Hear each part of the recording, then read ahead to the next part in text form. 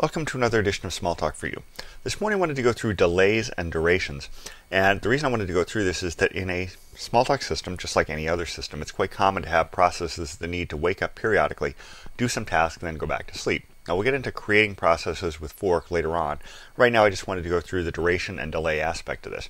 A duration is a simple little object. You see here I have class duration, and I can create a duration for milliseconds, for minutes, for seconds, for weeks, and all this will do is give me a duration of time that I can then use in some other class like delay with the convenient for milliseconds kind of thing or for seconds kind of thing. So I can create a delay for some set of milliseconds or some set of seconds. And I can get the exact time I want easily with a duration. So I'll do something like this. I want a duration of 10 seconds.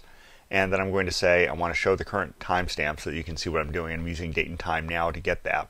And then I'm going to say delay for milliseconds, the thing I got out of my duration. You know, so I get created a duration in 10 seconds, then I'm duration as milliseconds to get the milliseconds timestamp out of that, and then I hand that to delay. So you can see how this works. If I go ahead here and do an execute on this, now up here I'm just printing, and actually I can't make it current because well, Windows is kind of locked up on this based on the way things work in VA Smalltalk.